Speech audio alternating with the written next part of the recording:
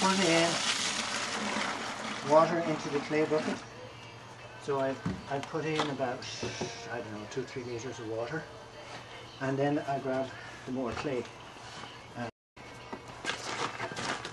get in one,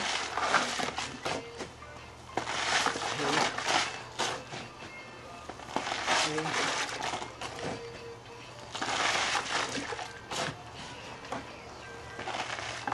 five scoops of clay. Uh, and then I just quick go with the spade through it. And leave it to soften up. Leave it to soften up for um, I don't know, 10 minutes or so. So here we have to clay in the, the bucket or in the wheelbarrow and if you notice the top of the clay, uh, I'll just zoom to it. The top of the clay, uh, some of it's still a bit dry even though, excuse me, it was in the bucket for yeah, about half an hour. Pardon me. Anyway, because it's a little dry, I'm going to have to um, to work it just a little bit. But that's okay.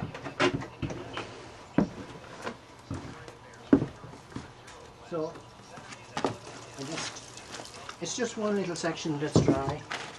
Uh, and it has been softened, so even though it looks a little dry, it's very few lumps. That lump is a stone, so I don't worry about that one. And you don't need to bother taking stones out. Uh, it just adds body to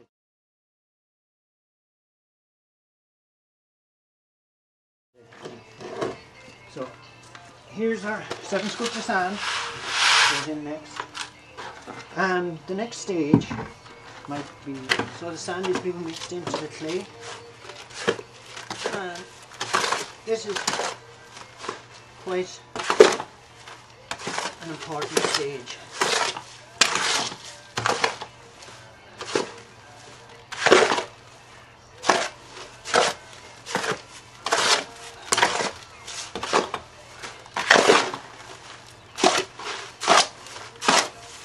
Mixing away.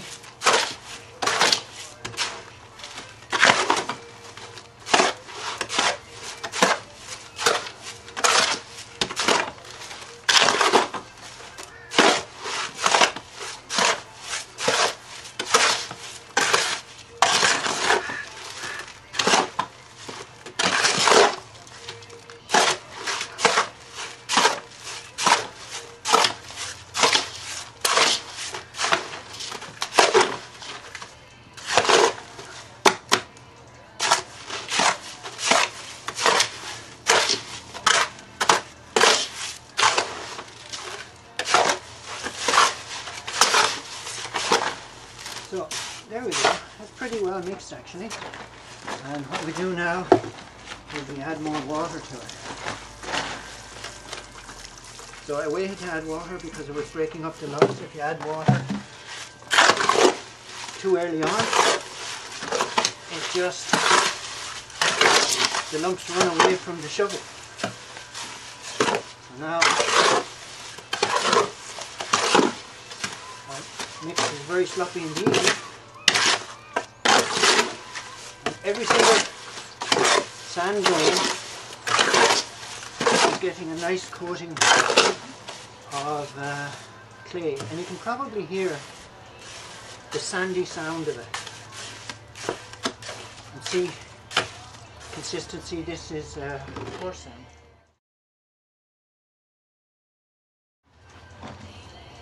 so now we're adding the straw uh, I don't have any specific amount I add, so I just add what I think, which is probably uh,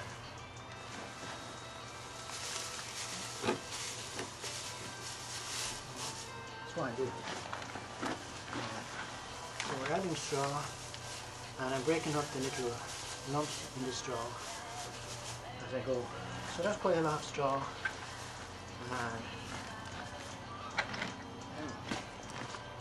So the straw, I got about, must be about three inches of loose straw on top. So then I'll turn it around with the shovel. Uh, the clay is going a little in through the straw and suddenly I find I can't really mix anymore. Very quickly.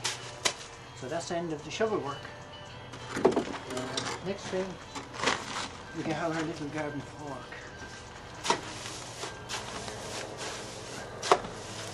Now, we're to mix.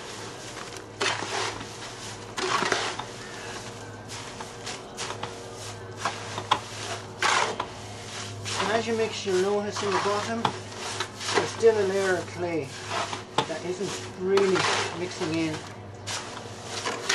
with the straw. So push it a little.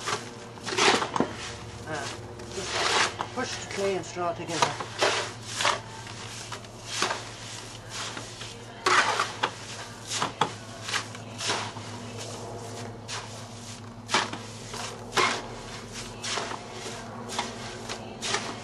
So,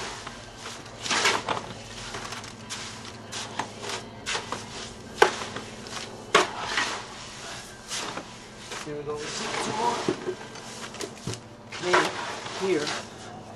Has you mixed and you just push the, the straw to it. And you go from the other side. Push the straw. Toss it down. Push it through. Push it through again. And here are the waste. So now we've got a mix that looks a bit like a dung heap. And what I do next is I grab more water.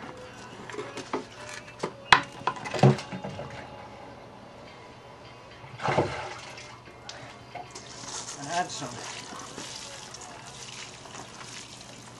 there's quite a bit of straw in there.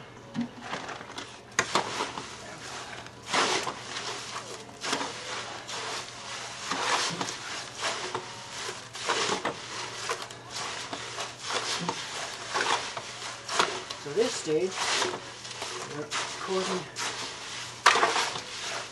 every straw And there you go. And I should just dump this out on a tarp and let it dry a bit overnight.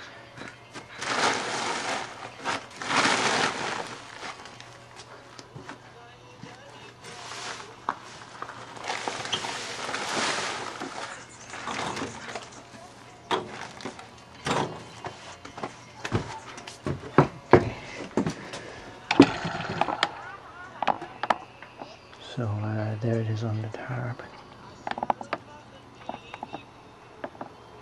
See, it's uh, like a dung heap, no, no more, no less.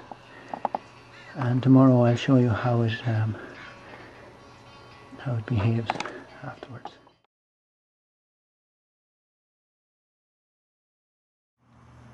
And here's the sound, um, or to the front, I think. That's the sound of the clay particles rubbing against each other. That way, if you can hear the clay, or sorry, the sand particles scratching against each other.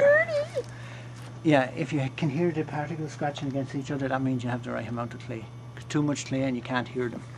My thanks to um, Stephanie Envelson for showing me uh, the tarp method of making cob. I couldn't actually use that myself because my knees are pretty bad and my ankles too. So this is the method I came up with in its place. And it's pretty quick. Uh, thanks to Katrin. And